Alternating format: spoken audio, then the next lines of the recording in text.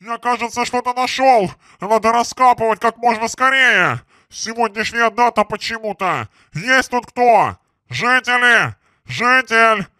Ё никто не откликается, нужно копать! И копать как можно скорее! Лопата на готове, аккуратненько выкапываю по бокам.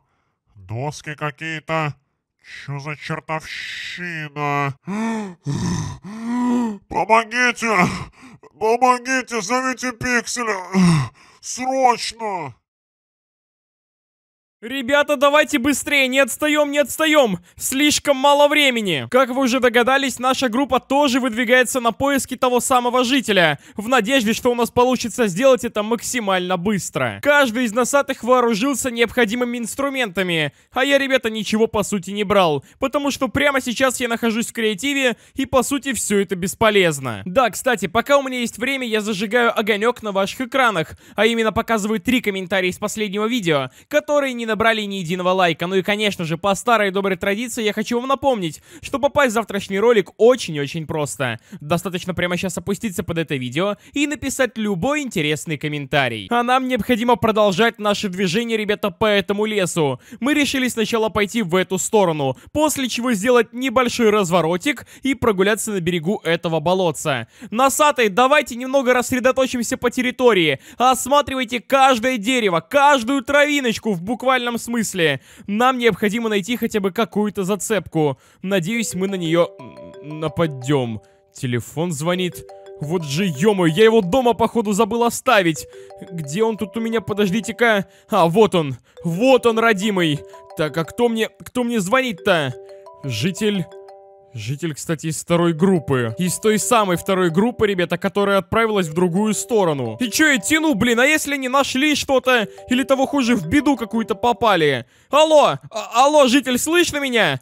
Блин, походу не слышно. Сейчас я, житель, сейчас я на дерево залезу. Вот, так, вот так слышно? Так получше? Да, да, Пиксель, так гораздо лучше слышно. Связь очень плохая. Беги скорее сюда. Мы очень и очень страшную вещь нашли. Какую еще страшную вещь? Подожди, походу опять прерываешься. Еще выше поднимусь. Где вы находитесь-то? Помнишь, возле нашей деревни есть такая яма под дубом? Иди в ту сторону. Ничего точно не перепутаешь. Мы прямо тут. Скорее беги сюда. Окей, правда мы тоже только что вышли на поиски. Но, видимо, у вас там действительно что-то интересное. Давай, житель, мы скоро будем.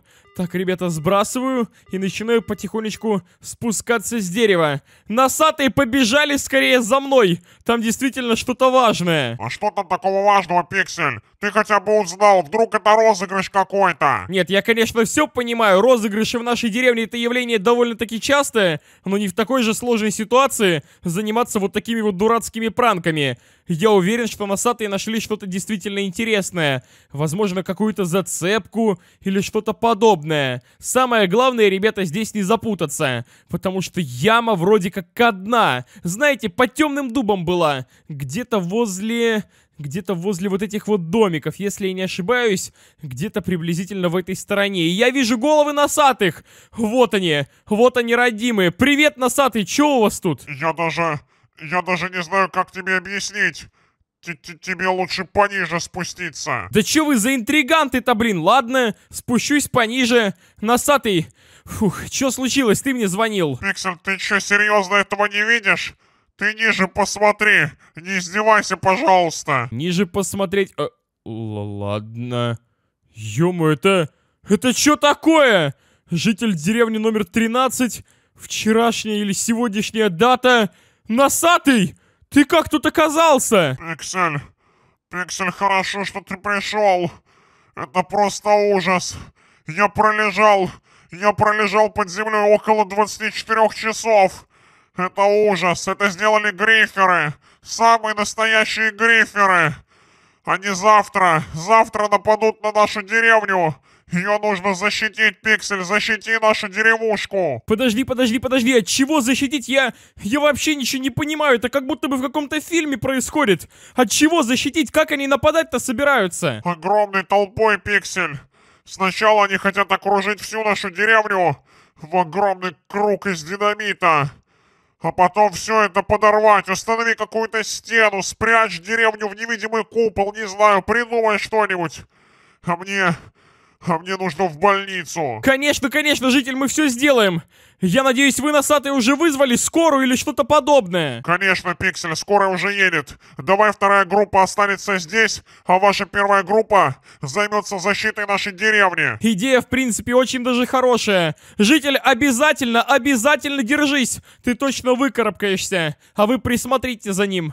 А нам необходимо двигаться в сторону деревушки и действительно заниматься ее защитой. Судя по всему, ребята, эта история приобретает все новые и новые краски. И то, что я вам и говорил, пост администратора это не какие-то шуточки, ребята. Здесь все очень и очень серьезно. Носатый, пока я буду заниматься защитой деревни, ваша задача оповестить всех жителей о грядущей опасности. Давайте, я в вас верю. Ладно, Пиксель, хорошо, нужно какое-то убежище тогда построить. Мы с ребятами об этом позаботимся. Самое главное, оповестите всех жителей. А я вместе с подписчиками буду думать, как защитить нашу деревню. И кажется, у меня уже появилась, ребята, небольшая, но все-таки идея. И эта, ребята, мысль связана вот с этой вот огромной статуей. Не просто так она тут установлена. Само собой, гриферы придут сюда для того, чтобы уничтожить нашу деревню, ребята, и стереть ее с лица земли. Но, как вы понимаете, самое важное, это защитить жителей этой самой деревни. Все вот эти вот домики, грядки и так далее, все это можно восстановить, ребята. Даже с помощью того самого креатива. Благо, как вы понимаете, он у меня есть есть. Но вот жители деревни должны быть в стопроцентной безопасности. Именно по этой причине я хочу построить то самое убежище, ребята, в этой статуе. А именно в голове вот этой вот прекрасной и милой свинки. Мало ли гриферы захотят разрушить и эту прекрасную постройку. Поэтому, ребята, к своей голове, к своему телу и к своему скину я даже не буду прикасаться. А вот свинку в случае чего они вряд ли тронут. И это, ребята, прекрасный повод для того, чтобы организовать тут небольшой бункер. Самое главное для начала все подготовить. Для этого мы, конечно, вооружаемся вот таким вот прекрасным админским топориком, выделяем первую точку, летим, ребята, в противоположную сторону, и вторую поставим примерно где-нибудь вот тут вот. Замечательно. После чего прописываем волшебную команду set 0, и у нас получается вот такое вот прекрасное, ребята, пустое место. И заодно мы можем рассмотреть все внутренности этой постройки. Буквально несколько секунд у нас точно на это есть. Но само собой, ребята, чтобы убежище было очень-очень крепким, нам необходимо с помощью того самого топора и админских команд очень сильно его укрепить. А именно, ребята, закатать тут все в бедрок. Еще, ребята, одна волшебная админская команда и вуаля. Абсолютно со всех сторон бедрок установлен. Нам остается лишь добавить, ребята, его внизу, вот здесь вот на полу, конечно же. После чего подняться, ребята, повыше и добавить его на крышу. Чтобы, если гриферы начали, ребята, закидывать нашу деревню динамитом со всех сторон и даже задели мою статую, она никак не сможет пострадать, и жители точно останутся целы. Бедрок на крыше тоже установлен, и теперь нам необходимо, ребята, набросать сюда каких-нибудь кроватей, для того, чтобы жители, конечно же, безопасно, но и самое главное, комфортно провели, ребята, здесь свое время. Открываем свой инвентарь и ищем, ребята, что-то действительно интересное. Конечно же, кроватки, как я и сказал ранее, и нам понадобятся еще какие-нибудь печки, верстаки, сундуки и так далее. Для хранения вещей, для крафта этих самых вещей, ну и, конечно же, для приготовления пищи. Жителей в моей деревне довольно-таки немного, но кровати, ребята, я установлю с запасом. Мало ли что, может они друзей своих позовут, может быть какие-то носатые прибегут из соседней деревни.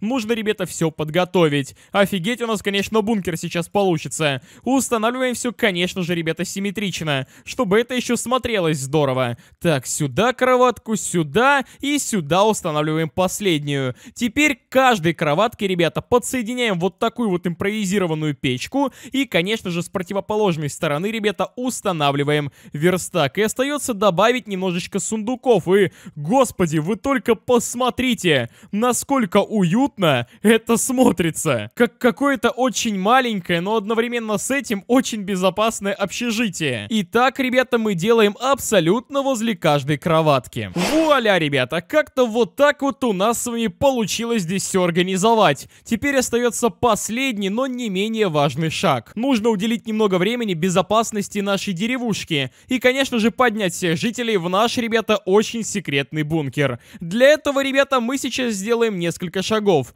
Первый это как раз-таки безопасность деревни, а именно огромная стена, ребята, которая уже не один раз выручала нашу деревню. И я надеюсь, в этот раз все тоже будет замечательно. С помощью того самого, ребята, небезызвестного топорика устанавливаем первую точку. И вторую, как вы уже догадались, устанавливаем с противоположной стороны. И здесь, ребята, будет очень и очень безопасно. Я сейчас подниму эту конструкцию на несколько десятков блоков вверх и, конечно же, на несколько десятков блоков вниз. Поднимаем всю эту конструкцию блоков на 20, а также, ребята, опускаем ее на такое же количество. После чего обращаемся к той самой админской команде, ребята, и получается у нас примерно вот так. Вы только посмотрите, вся деревня окружена железными блоками, и вся эта конструкция углубляется еще и ниже. Я вам даже прямо сейчас это продемонстрирую. Сколько бы я ни копал, ребята, нас везде сопровождают эти железные блоки. Полностью, конечно, не защитит, ребята, но заметно замедлит этих самых гриферов. Теперь остается последний шаг. Нужно поднять всех жителей в наш, ребята, безопасный свинобункер. Свинобункер, смешное название. Здесь, по сути, нет ничего сложного. Их, ребята, можно либо одной командой телепортировать... Вы, вы слышали это? Довольно-таки неслабый взрыв. Прозвучал где-то прямо за моей спиной, в стороне леса. Само собой, ребята, прямо сейчас я бегу в ту сторону. Я просто обязан проверить, что это было. И тут, ребята, взорвалось несколько динамита. А это значит только одно, жители! Жители моей деревни, срочная эвакуация! И похоже, ребята, их нужно телепортировать. Нападение на деревню жителей номер 13 уже началось.